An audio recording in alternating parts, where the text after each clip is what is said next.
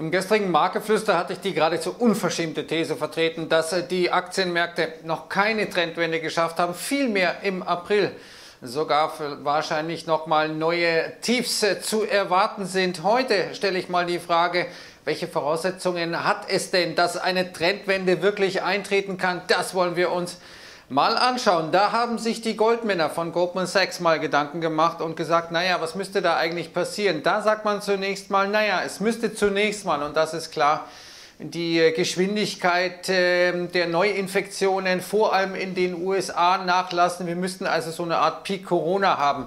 Das wäre die erste Voraussetzung. Die zweite, wäre, dass die äh, Maßnahmen, die die Fed und die Regierung getroffen hat, dass die effektiv sind, dass das Geld da ankommt, wo es wirklich gebraucht wird, wo es auch effektiv verarbeitet äh, werden kann. Dazu gleich mehr. Und die dritte Voraussetzung, und die sieht äh, Goldman Sachs nicht erfüllt, ist die Positionierung der Anleger. Hier sagt man von Goldman Sachs, dass wir nach wie vor nicht die Phänomene erleben, die wir dann äh, in der Nähe von Böden sehen nach einem Crash oder nach einer scharfen Korrektur. Äh, das sei laut Goldman Sachs noch nicht der Fall. Man arbeitet hier mit Standardabweichungen. Da sind wir jetzt äh, bei 1,4 normalerweise. Schwupps, da geht er rüber. Normalerweise sind diese Werte deutlich tiefer. Das heißt, da müsste eigentlich noch einiges kommen. Schauen wir uns mal äh, die Sache an, äh, was bisher getan wurde von verschiedenen Staaten. Hier ist eine Tabelle, die zeigt, was die verschiedenen Staaten, nämlich die G10 äh, Staaten, sowohl an fiskalischem Stimulus als auch an einer Art Sicherheitsnetz gespannt haben, also Steueraussetzungen etc. etc. Hier sehen wir, dass die Amerikaner am meisten getan haben. Insgesamt ist das um und bei 11 Prozent des BIPs. Deutschland liegt da nicht einmal bei 4 Prozent. Japan äh, kommt da noch am nächsten den USA und dann kommt schon UK. Also man sieht, da ist äh, wirklich viel gemacht worden, vor allem seitens der US-Administration. Da ist richtig reingebuttert worden. Gleichwohl dürfte das, was jetzt auf uns zukommt, nicht allzu hübsch sein. Hier sind mal die Projektionen äh, der Deutschen Bank für das Wirtschaftswachstum im zweiten Quartal, auch im ersten Quartal 2020, drittes Quartal 2020. Und wir sehen, wir sind etwa bei den USA äh, schätzt man minus 10,5 Prozent für das zweite Quartal, die Eurozone minus 14,7 Prozent, Deutschland minus 10,1 Prozent, äh, Großbritannien minus 16,3 Prozent, auch Frankreich mit minus 14,9 und Italien mit 14,2 äh, Prozent. Nicht gerade gut dabei, aber den Vogel schießt wahrscheinlich dann Spanien ab mit minus 24,0 Prozent im dritten Quartal. Dann überall Wachstum außer Japan und der USA. Interessanterweise hier diese Prognose. Das große Problem, das hier Tracy Alloway auf den Punkt bringt, ist, unser Finanzsystem ist nicht darauf ausgelegt, dass so viel Geld so schnell zu so vielen Leuten kommen kann.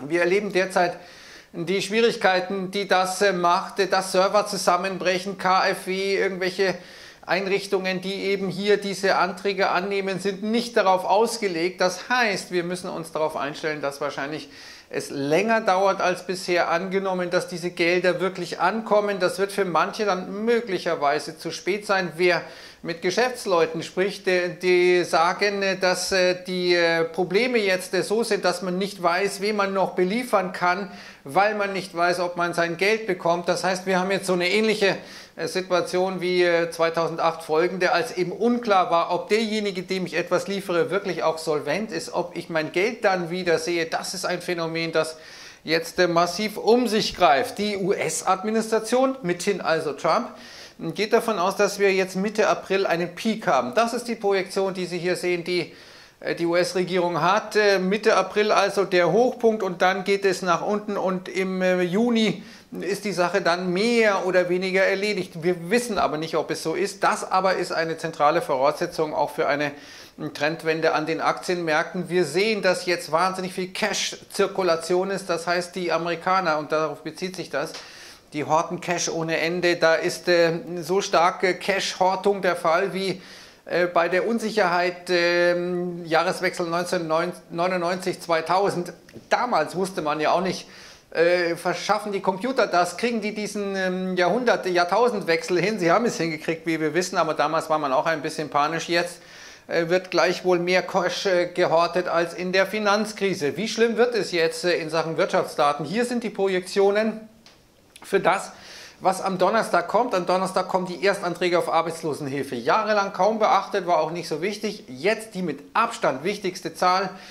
Können Sie alles andere vergessen in der Zeit. Und die äh, Prognosen liegen äh, für die Erstanträge auf Arbeitslosenhilfe für jetzt kommenden Donnerstag, also die Zahlen praktisch jetzt der äh, vergangenen Woche, die da erfasst werden, liegen zwischen 3,5 Millionen und 6,5 Millionen, also 3,5 bis 6,5 Millionen, nachdem wir ja in der Vorwoche, Vorwoche 3,28 Millionen hatten. Also das sind massive Zahlen. Hier mal ein Vergleich zwischen dem S&P 500 heute und dem S&P 500 äh, zwischen 2007 ähm, und äh, Ende 2007 und äh, Ende Oktober 2009. Hier sehen wir, dass wir ein ganz ähnliches Muster haben, das sich möglicherweise dann nochmal so auflöst, wie ich es versucht habe, gestern im Marktgeflüster zu skizzieren mit dem Tief, das wir im April nochmal sehen. Möglicherweise kommt dann eine Rallye, ganz klar, wenn der Stimulus kommt, äh, wirklich ankommt, wenn dann äh, möglicherweise Corona doch sich abschwächt, dann haben wir das Potenzial für eine massive Rallye, aber nach meiner Auffassung jetzt nicht. Das liegt auch daran, dass die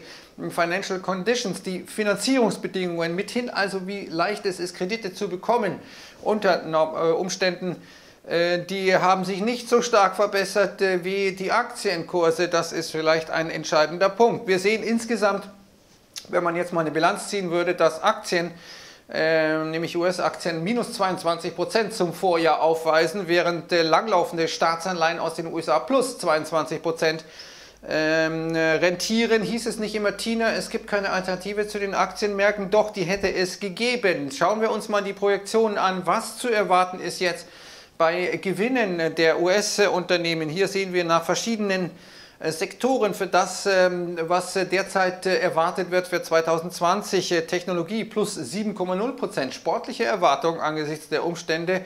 Ganz hinten Energie mit minus 62,3 Prozent. Healthcare dürfte noch positiv sein.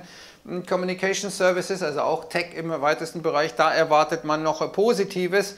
Insgesamt sehen wir aber, dass die Gewinnerwartungen deutlich runtergegangen sind. Wir waren so im Dezember noch äh, bei 10 Prozent, im November waren wir über 10 Prozent Erwartung für das Gesamtjahr 2020. Jetzt sind wir bei minus 1,2 Prozent. Auch das halte ich für nachgerade optimistisch, minus 1,2 Prozent im Vergleich zu 2019. Da war doch die Welt äh, super in Ordnung.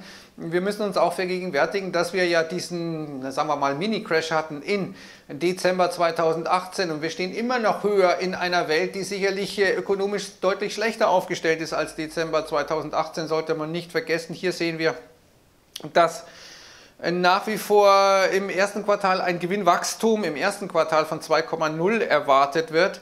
Äh, das wäre dann das geringste seit dem zweiten Quartal 2016. Aber Corona ist ja so richtig erst äh, im März rein äh, geknallt sozusagen. Und heute Nacht hatten wir ermutigende Daten aus China.